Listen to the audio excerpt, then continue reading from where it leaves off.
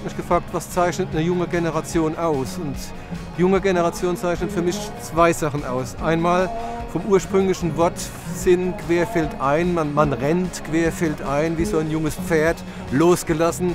Wir haben jetzt natürlich ein Zebra, geht über alle Hürden, über alle Steine, lässt sich von nichts irritieren, von nichts aufhalten. Das ist der eine Aspekt. Und Quereinfälle, dass man einfach über, als die jungen Leute, die denken über Tellerrand hinaus, die, die denken ähm, drei Schritte weiter und dann kombiniert sich das in Quereinfälle und Querfeldeinrennen im Sinn von ähm, wir lassen uns von nichts aufhalten, geht nicht, gibt's nicht.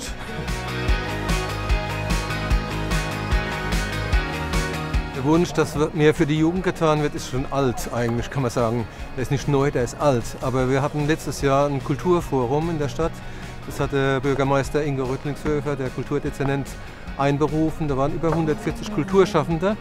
Und da wurde eigentlich so der Wunsch ziemlich laut, wir müssen mehr machen für die junge Generation, mehr für die Kultur.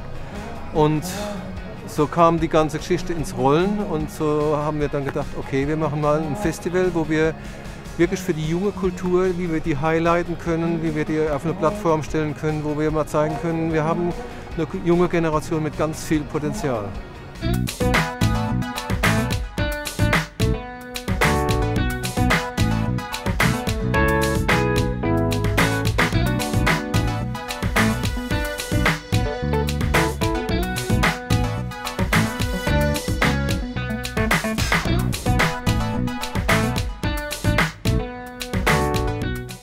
Finde ich spitze. Mich hat insbesondere der Name beeindruckt, äh, Querfeld ein, weil ich das ein ganz tolles Namensspiel finde.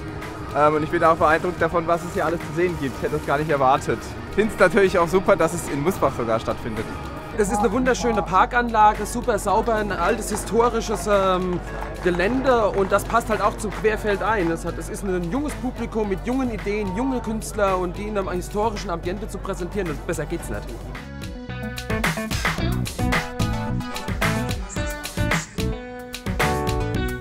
Ich finde es schön, weil mir die Jugend am Herz liegt und ähm, ich denke, dass, dass es gut ist, dass da in Neustadt noch mehr getan wird für die Jugend. So ein Festival ist gerade cool, weil ähm, das kulturelle Angebot eigentlich ja immer nur so punktuell stattfindet. Also man findet mal abends irgendwie ein Konzert oder ein Theaterstück oder so. Und hier kann man eben mal alles auf einmal sehen und auch wirklich sehen, wer macht denn noch was. Und das finde ich echt cool. Ich finde es gut, dass es solche Festivals gibt, weil es gibt sonst wenige Möglichkeiten, sich quasi sein Können zu zeigen oder etwas zu präsentieren. Das Festival ist äh, fantastisch organisiert. Wir sind super dankbar, dass wir da sein dürfen. Und ich finde es auch klasse, dass hier Sachen, ähm, dass es ein Festival speziell für junge Leute ist. Und es wird auch toll angenommen. Für mich gibt es generell so einen Überbegriff und das nennt sich Kunst. Und Kunst gibt es ganz viele Unterordnungen wie Malerei und was weiß ich, also es gibt ja Theater, es gibt ja ganz viele Dinge und ich finde halt, alles hat was gemeinsam. Also alles ist was Kreatives, alles ist was Individuelles auf eine bestimmte Art, was man auch braucht in, in der Branche, in dieser künstlerischen Branche, dass man einfach ein Alleinstellungsmerkmal hat. Und dass das hier so zusammengeführt wird, finde ich toll. Also, und äh, man geht hier über den Platz und sieht eine Theatergruppe oder schaut sich Bilder an und man macht es ja. Also man, man kommt ja nicht nur hierher und spielt wirklich, macht sein Ding und zieht es durch, sondern man läuft ja durch, also mit, mit offenen Augen durch die Welt und äh, lasst sich inspirieren. Ja.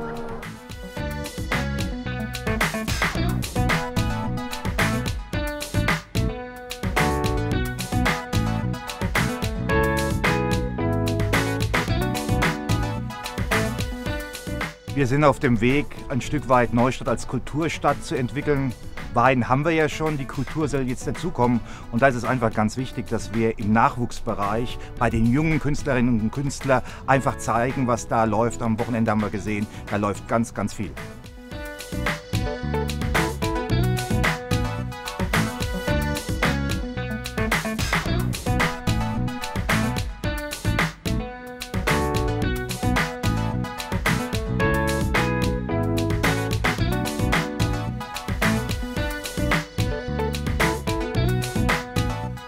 Ja, das ist das Entscheidende, weil ähm, wir sehen im Moment einen Trend durch Deutschland durchgehen, der zurück zur Regionalität geht. Also nicht nur regionale Speisen und Getränke, auch regionale Kunst wird immer äh, wichtiger.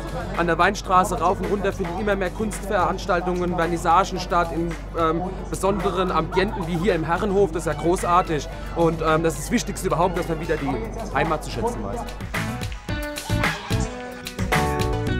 Quer fällt ein, das heißt ja schon mal irgendwas Queres, irgendwas Verschobenes, irgendwas ja, Verrücktes. Und was ist Kunst? Jeder muss irgendwas Verrücktes machen, um irgendwie ein Alleinstellungsmerkmal zu haben und aus der Masse rauszustechen. Und das, ja, das, das ist ja in diesem Namen vereint. Und das ist ein toller, toller Name für das Festival, dieses Querdenken auch.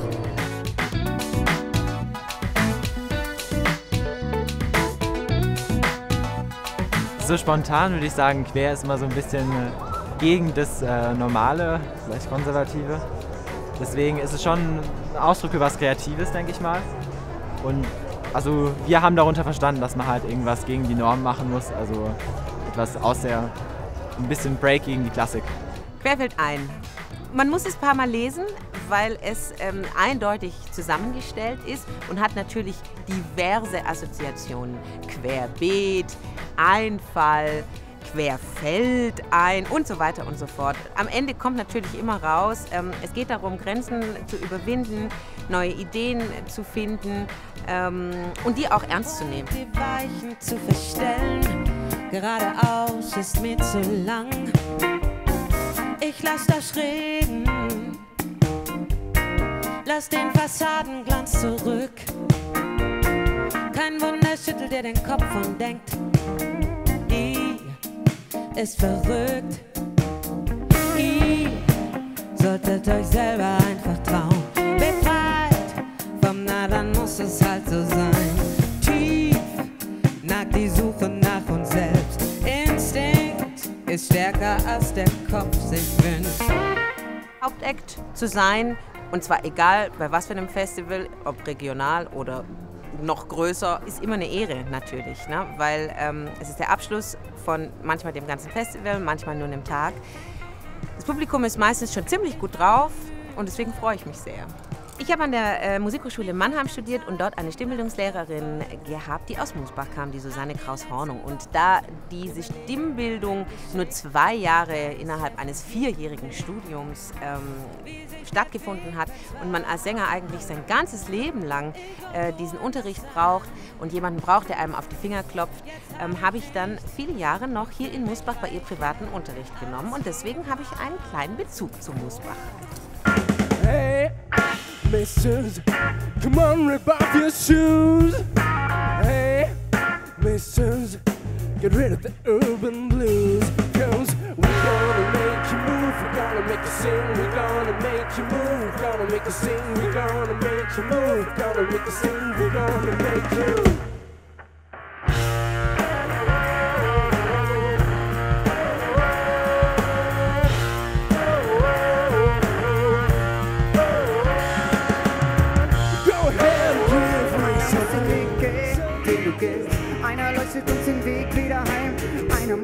Am Ende des verdammten Tunnels sein. Hier ist so wenig Licht, man kann die Hand vor Augen kaum sehen. Umso härter wir versuchen, umso schneller werden wir untergehen. Werden wir untergehen.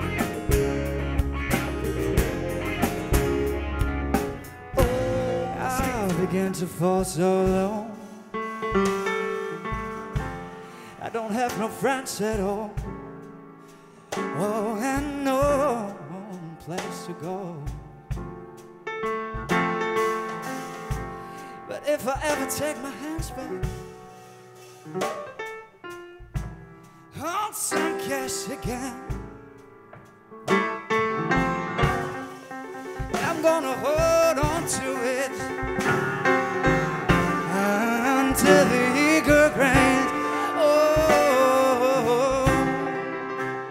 denke, das Wichtigste ist, ähm, nicht sich inspirieren zu lassen. Also wir haben ja mittlerweile schon so unseren eigenen Stil gefunden, aber halt auch mal zu sehen, so wie sieht die Zielgruppe aus, was machen andere Leute und sich da auch so ein bisschen zu vernetzen und dann auch mal ähm, gerade auch die Leute, die dann unsere Stücke gucken sollen, auch mal wirklich kennenzulernen und auch Kontakt zu knüpfen.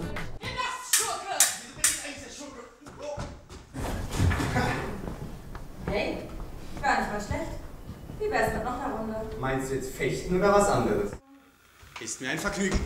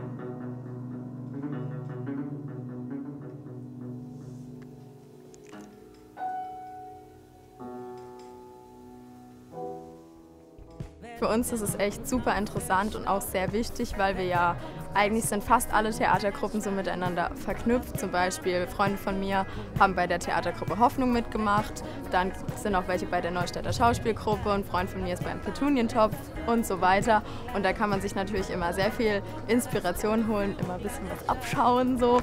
Ja, also ich denke, das kann jedem sehr viel bringen.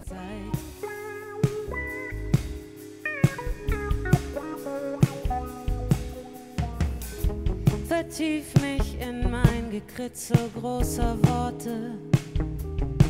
Ich bin schon langsam leer geschrieben. Was mir am meisten imponiert hat, ist dieser Mix, dieser Wechsel, der da möglich ist. Du kannst dir Literatur anhören, Poetry oder auch Lyrik und dann gehst du zu Rock und zwischendurch machst du noch ein bisschen Malerei mit ganz, ganz tollen Bildern. Ich glaube, der Reiz dieser Veranstaltung lag auch in dem Möglichen, dass man ganz viele unterschiedliche Dinge an einem Platz erleben kann. Wir sind sehr froh, dass wir das einfach mal hier äh, abfeuern konnten, im wahrsten Sinne des Wortes. Ich bin sehr zufrieden über, die, über den Verlauf. Das Wetter hat uns wirklich sehr in die Karten gespielt.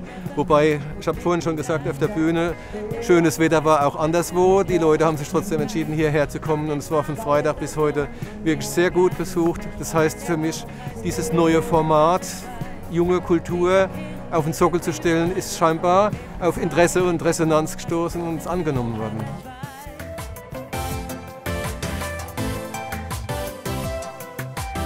Zuallererst mal das Zebra. Anerkennung. Verrückt. Kunst. Vielfalt. Super entspannt, sonnig. Förderung und zwar eine wahnsinnig gute Förderung. Bunt. Jugend. Individuell und neu. Schlagfertig, ja. Bunt. Top-Leute. Kultur. Groß. Absolut entspannt. Alternativ. Spaß. Top organisiert und klasse gechillt. Kreativität, Vielfalt und Vernetzung, das umschreibt Querfeld einen am besten.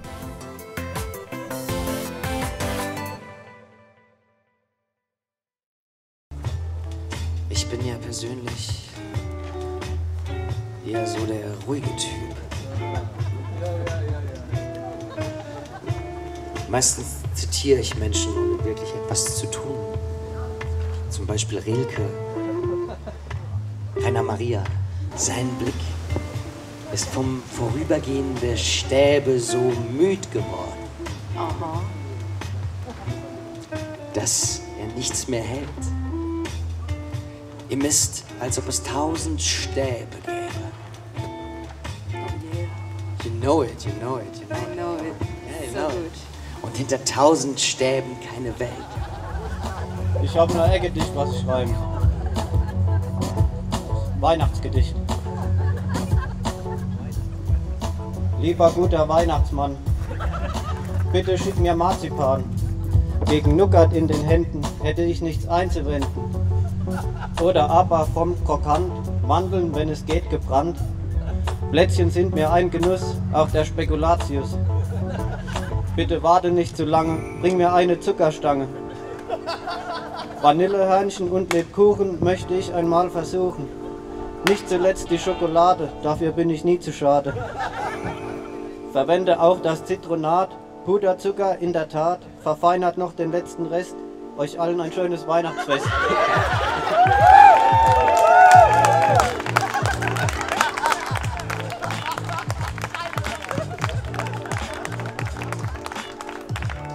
Schwer zu toppen.